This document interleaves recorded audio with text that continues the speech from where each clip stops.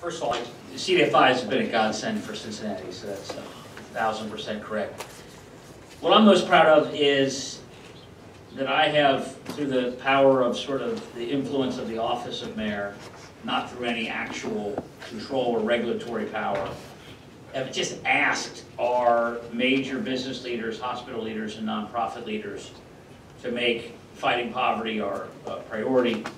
And just by doing that, we've, we've leveraged literally uh, tens of millions of dollars of new money uh, to fight poverty. We are, have an employer roundtable uh, where employers are willingly and voluntarily taking positions that will help ex-felons get jobs by banning the box, by changing work schedules so people can meet uh, the bus, by looking at, you know, maternity and paternity leave issues that uh, are very meaningful.